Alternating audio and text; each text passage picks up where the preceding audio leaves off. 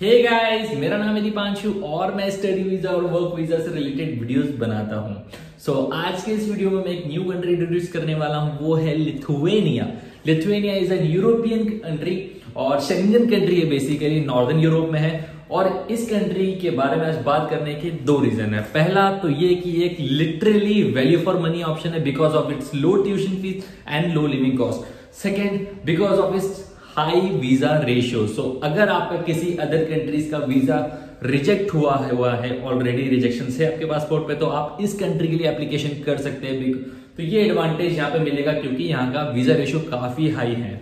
और आज के इस वीडियो में मैं कवर करने वाला हूँ कि why to study in Lithuania यहाँ का tuition fees cost intakes and courses scholarship and most importantly how to apply तो बहुत ही इंटरेस्टिंग वीडियो होने वाला है। वीडियो को एंड तक देखते रहेगा और अगर चैनल पर नए हैं भाई साहब आप तो चैनल को लाइक वीडियो को लाइक और चैनल को सब्सक्राइब ज़रूर कीजिएगा। तो चलिए शुरू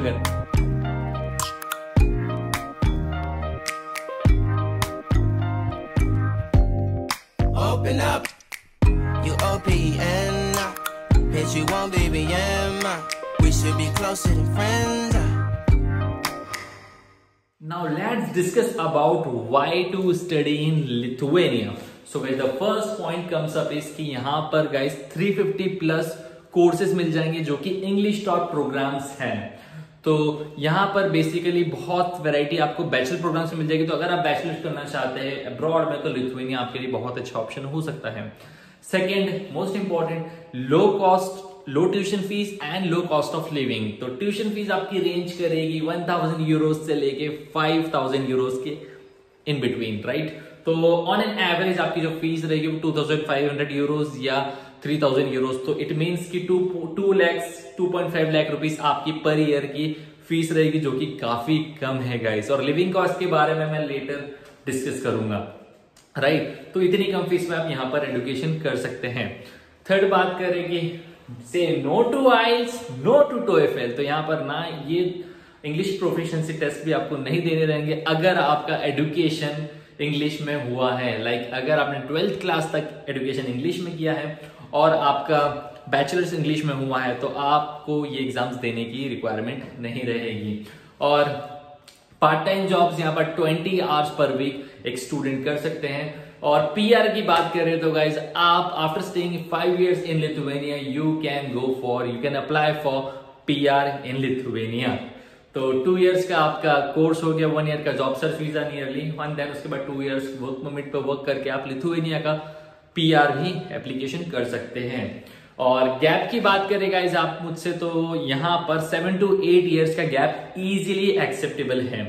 और जैसा कि मैंने बताया कि शेंगन कंट्री है तो शेंगन कंट्री से आपको मिलता है 26 कंट्रीज़ का एक्सेस तो जैसे ही आपका कोर्स कंप्लीट होता है तो उसके बाद आप इन 26 कंट्रीज़ में कहीं पर भी जॉब सर्च कर सकते हैं ट्रेवल कर सकते हैं और इंजॉय कर सकते हैं। तो आपके पास 26 कंट्रीज़ का एक्सेस रहता है। If we talk about intakes so guys Lithuania has two intakes. First one is September intake and the second one is January intake. तो आप जितनी जल्दी एप्लीकेशन करें उतना ही बेटर रहता है and uh, here bachelor courses are of 3 to 4 years and master courses are of 1.5 to 2 years अब मैं आपको कंप्यूटर स्क्रीन पर बताने वाला हूँ कि how you can find courses scholarships and most importantly आप कैसे एप्लीकेशन कर सकते हैं इन लिथुवेनिया मैंने ऑलरेडी सर्च करके रखा है तो सबसे फ़र्स्ट लिंक जो आएगी, मैं डिस्क्रिप्शन में भी मेंशन कर दूँगा तो ऐसा कुछ इंटरफेस ओपन होगा। हमें जाना है स्टडी प्रोग्राम्स में। तो जैसे हम स्टडी प्रोग्राम्स में जाएँगे तो बहुत सारे प्रोग्राम्स आपको मिल जाएँगे। तो अगर आप चाहे तो यहाँ पर फ़िल्टर भी कर सकते हैं अपने प्रेफरेंस के अकॉर्डिंग तो फॉर एग्जांपल लेट्स से कि मुझे एक ऑनर्स यूनिवर्सिटी से अकाउंटिंग एंड ऑडिटिंग करना है मास्टर्स में मास्टर्स डिग्री करना है। तो मोर पे क्लिक कीजिएगा। मोर पे क्लिक जैसे करेंगे तो यहाँ पर सारी इन्फॉर्मेशन आ जाएगी लाइक कौन डेडलाइन कब एप्लीकेशन की इंटेक कौन सा है तो ये इंटेक तो ऑलरेडी जा चुका है। टू ईयर्स का प्रोग्राम है और थ्री ये जो फ़ीस है वो यू सिटीजन के लिए तो हमें नॉन यू सिटीजन के लिए three thousand eight hundred euros है। अब फिर इसके बाद हम क्लिक करेंगे अप्लाई नाउ पे। सो गाइज़ जैसे ही अप्लाई नाउ पर क्लिक करेंगे हम तो ऐसा इंटरफेस ओपन होगा और इसमें एंटायर डिटेल्स मिल जाएगी हमें। टू इयर्स का प्रोग्राम है इंग्लिश प्रोग्राम है, ठीक है? थ्री थाउज़ेंड एटीन यूरोज की फ़ीस है और हाँ हंड्रेड यूरोज से लेकर वन फिफ्टी यूरोज में आपको एप्लीकेशन फ़ीस पे करना पड़ सकती है। तो यहाँ पर हंड्रेड यूरोज की फ़ीस है। ये जब हम एडमिशन की एप्लीकेशन करेंगे, तब रिक्वायर्ड रहेगी। रिक्वायरमेंट्स में यूनिवर्सिटी की बैचलर डिग्री चाहिए स्काइप इंटरव्यू होगा और इंग्लिश प्रोफिशेंसी चाहिए दैट्स इट इंग्लिश प्रोफिशेंसी में आइल्स और टोईफेल के स्कोर लगा सकते हैं। अगर वो नहीं है तो इफ़ अगर आपकी स्टडीज़ इंग्लिश में हुई है तो आप मीडियम ऑफ़ इंस्ट्रक्शन सर्टिफिकेट यहाँ पर अटैच कर सकते हैं।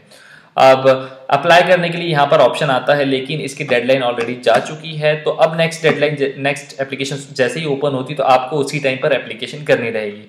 तो इसके लिए थोड़ा सा आपको एक्टिव रहना पड़ेगा और सर्च करते रहना रहेगा। तो ये डिफरेंट डिफरेंट कोर्सेज पे रहता है।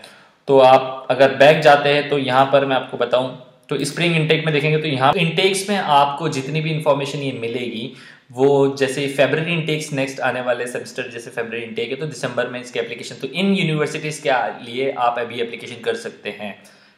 देख सकते हैं यहाँ पर। यहाँ पर यूनिवर्सिटीज़ भी है कोर्सेज भी तो आप देखेंगे यहाँ पर बैचलर प्रोग्राम्स आपको बहुत सारे अवेलेबल मिल जाएँगे। अब हम बात करते हैं स्कॉलरशिप्स की। तो स्कॉलरशिप में आपको गवर्नमेंट की स्कॉलरशिप मिल जाती है स्टेट स्कॉलरशिप्स और आपको मिल जाती है यूनिवर्सिटी स्पेसिफिक स्कॉलरशिप तो ये जो है स्टेट स्कॉलरशिप और एंटायर जितनी भी नीचे स्कॉलरशिप दी गई, सारी यूनिवर्सिटी की स्पेसिफिक स्कॉलरशिप है और उनकी डिटेल्स एंड डेडलाइंस है।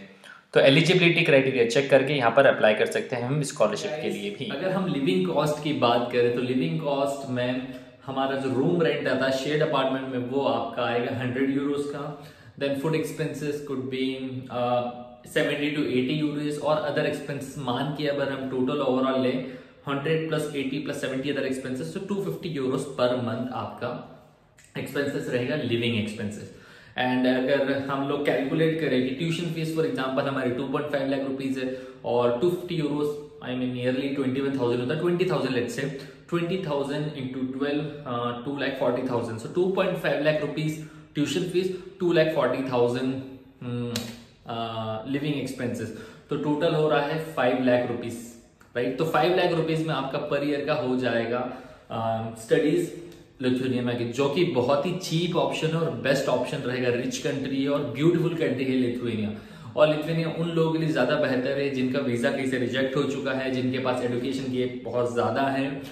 तो ये कुछ केसेस जो एक्स्ट्राऑर्डिनरी केसेस है, वो यहाँ पर एप्लीकेशन कर सकते हैं। Because of high visa ratio तो आई होप कि आज के इस वीडियो से आपको बहुत नॉलेज मिला हो और कहीं ना कहीं आपको मोटिवेशन भी आया कि हाँ अगर मेरा वीज़ा वीज़ा रिजेक्ट भी हो गया तो कोई इशू नहीं है। I have other option too तो यूरोपियन कंट्रीज़ में बहुत सारी यूरोपियन कंट्रीज़ यहाँ पर आपको ऐसे ऑप्शंस मिलते हैं। तो बनाएँगे उन पर भी वीडियोस तो वीडियो को लाइक ज़रूर कीजिएगा गाइस और शेयर कीजिएगा अपने फ्रेंड्स में, जो कि निराश हो वीज़ा रिजेक्शन से। तो फिर मिलते हैं हम लोग नेक्स्ट वीडियोज़ में। Till then Bye bye, take care, and good luck for your future. Thank you for watching.